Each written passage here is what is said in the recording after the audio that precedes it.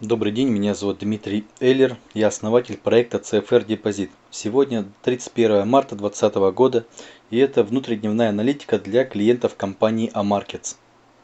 Начнем с пары евро-доллар.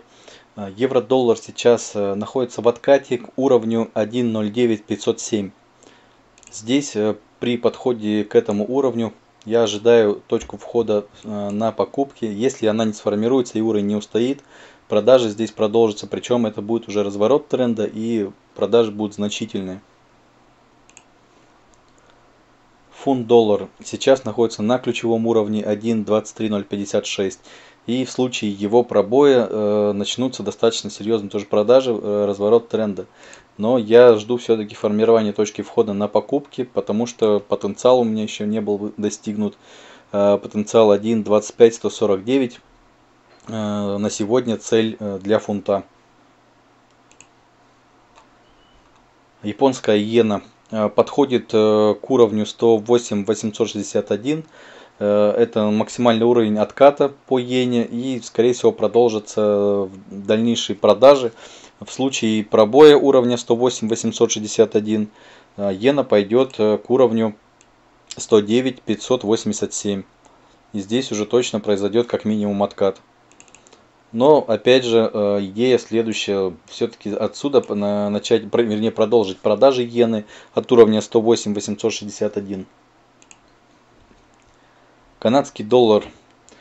Э, после небольшого падения происходит также откат, уровень 1.42020, достаточно сильный ключевой уровень Отсюда могут а, продолжиться дальнейшие продажи. Если все-таки он пробьет этот уровень, то может еще подняться немного выше к уровню 1.43201.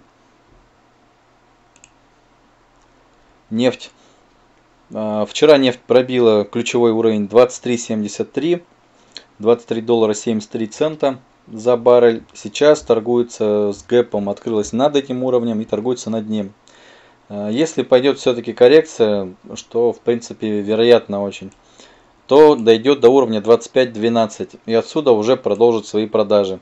Если прям сегодня пробьет этот уровень обратно, вернется под 23.73, то тогда продолжит продажи прямо сейчас, сегодня.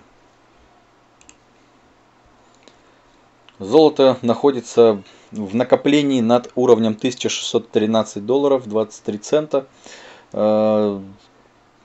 Вообще сама ситуация говорит о том, что здесь определенные объемы копятся. Сейчас возможен выход. Я вообще ожидаю, конечно, выхода вверх. То есть э, сейчас ожидаю э, какого-то импульсного движения, который можно будет померить и посчитать потенциал этого движения. Тогда можно будет уже точно говорить наверняка, где, докуда пара дойдет, до какого уровня, где развернется. Российский рубль находится также в накоплении между двумя достаточно сильными ключевыми уровнями. Это уровень 77 рублей 58 копеек за доллар и 80 рублей 89 копеек за доллар. В случае, э, ну учитывая, да, что нефть все-таки падает, э, не исключено пробитие уровня 80, 89, 80 рублей 89 копеек и э, рост к уровню 85.37. Вот, но это скорее не внутридневная, конечно, аналитика. Рубль до 85 может идти в течение недели этой. Вот сейчас надо наблюдать именно подход к уровню 80-89 и здесь уже смотреть, либо будет э, опять отскок и возврат в накопление, либо пробой, и тогда уже можно будет более точно сказать, э, какие, может быть, промежуточные уровни будут здесь для коррекции э, рубля. Биткоин. Э, это тоже не внутридневная аналитика. Здесь э, подробный обзор такой, так скажем, на неделю. Э, сейчас биткоин отскочил от ключевого значимого уровня 5029.31. Это был максимальный потенциал продаж после 12 февраля. Сейчас откат произошел также к достаточно сильному ключевому уровню 6868.64. И здесь, э, собственно говоря, следующая ситуация я рассматриваю.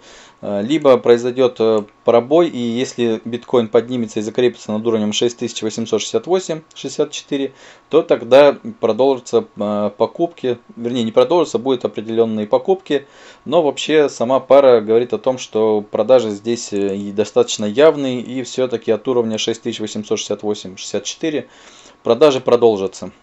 Ну на сегодня это все. Подписывайтесь на канал брокерской компании Amarkets, подписывайтесь на мой канал. Все ссылки в описании. Всего доброго, удачи в торговле.